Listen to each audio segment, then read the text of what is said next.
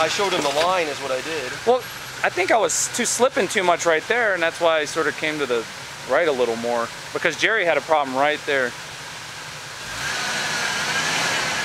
You're gonna hit your front. You're on your you're on your springs.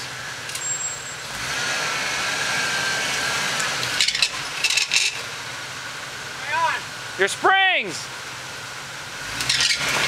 He's like, screw it. Yeah, once you're past that part, it's like, oh, that's nice. You need to get the tire up on that big rock. Bring it, you need to get it that way. Back it up and get it.